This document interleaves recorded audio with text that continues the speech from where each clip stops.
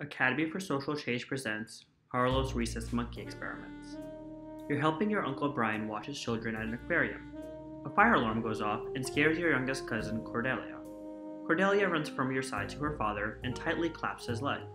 She's on the verge of tears. You're not quite confident she fully understands Brian's explanation of the fire alarm, but you don't stick around to find out. Instead, seeking out the two middle schoolers who are already heading towards the nearest exit. By the time you've reconvened outside, Cordelia seems much more calm and is happily picking at the grass while you all wait for the all clear from the fire department. When scared, Cordelia sought comfort from her father rather than you, even though you were closer. She has a stronger attachment to Brian, so she sought him out. Once she had received some contact comfort from him, she was able to go back to playing and having fun. Harlow's experiments provided empirical proof that primary attachment bonds are vital to a developing creature Contact comfort plays a much more important role in the mother child relationship than sustenance does. Furthermore, there's a time limit for when such bonds need to be forged without causing permanent emotional, mental, and social issues. In the 1930s, Harlow was running experiments with the rhesus macaques concerning learning development. To this end, he chose to raise them in a nursery setting rather than with their mothers. While Harlow and his associates could care for the physical needs of the baby monkeys, there was no denying that they regularly behaved much differently than those raised by their mothers. These socially isolated infants were reclusive, clung to their cloth diapers, and often showed signs of fear or aggressiveness. These observations, along with the later growing general debate over a mother's role in her child's development, would inspire Harlow to conduct his famous experiments. Throughout the 1950s and 60s, Harlow investigated the attachment bonds we call love with the rhesus monkeys as test subjects. His most famous experiment involved separating an infant from its mother a few hours after birth and letting it be raised by two surrogate mothers. The two mothers were made out of wire and wood, but one had a soft cloth covering. In one group, only the cloth mother had a bottle attached to it. For the other, only the wire mother provided the baby sustenance.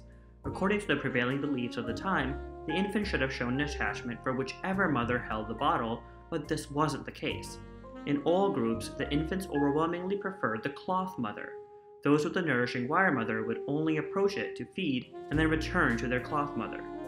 Later experiments, open field tests and fear tests, showed that when frightened, infants would seek comfort from their cloth mothers, clinging to them and eventually calming down. Those without their surrogate mother, or those with only a wire mother present, would stay fearful, frequently huddling in a ball, rocking themselves, sucking their thumbs, or screeching in terror. Harlow also investigated how different lengths of isolation affected rhesus macaques' abilities to socialize with peers.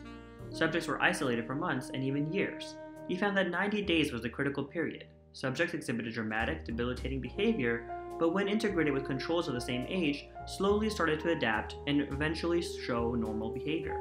After the critical period passes, no amount of exposure to surrogate mothers or peers can cause the subjects to fully alter their behavior nor make up for the emotional damage suffered. The longer subjects were isolated, the more debilitating their behavior became. In some cases, severely isolated subjects developed emotional anorexia upon reintegration with their peers and subsequently died. The idea of comfort contact isn't a radical one today, but it was during the time of Harlow's experiments. There were a number of records and instances of human children developing poorly socially, emotionally, and psychologically as a result of what appeared to be a lack of parental attachments, but there was no hard proof. The popular opinion of the day was that parents should only care for their children's physical needs, Cuddling was on par with coddling and was believed to cause children to become too dependent. Harlow provided the necessary evidence to dispute such beliefs via his experiments. Institutionalized childcare was shown to be detrimental to children. This is why, in issues of guardian rights, the child's preferences should be prioritized over which adult can provide the most financially. Adoption is championed as superior over other arrangements because it provides the permanence needed for attachment bonds to develop. Harlow showed that love doesn't develop from simply caring for the physical needs of a child, it comes from providing a feeling of safety and comfort. A father can play just as critical of a role in his child's development as the mother. You don't need to be a biological parent to truly care for a child. An infant raised by guardians rather than their biological mother is not guaranteed to suffer from such an arrangement. Harlow's experiments showed that parenting and mentorship isn't limited to adults. Peers can be instrumental in helping each other lead healthy, happy lives. People develop a variety of attachment bonds of varying strength and importance, but each bond plays an important role in their development.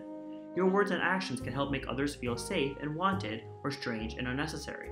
You can help heal others or further scar them. It's entirely up to you, so which would you prefer to be? a cold lump of metal, or a warm bundle of security? Now it's your time to think further. Who are the people and what are the things you seek out when frightened? Why?